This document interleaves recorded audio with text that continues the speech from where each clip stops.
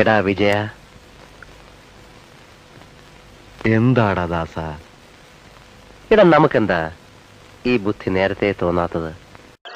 അപ്പൊ ശരിക്കും വക്കീൽ തന്നെയാണല്ലേ? കാണാനൊരു ലുക്കില്ലെന്നേ ഉള്ളൂ. ഭയങ്കര ബുദ്ധിയാ. നിന്റെ കയ്യിലാ ലോക്കറിന്റെ താക്കോലുണ്ടെന്ന് അതിന് താക്കോൽ എന്റെ കയ്യിലില്ലല്ല. ഐ ആം ബി സോറി അളിയാ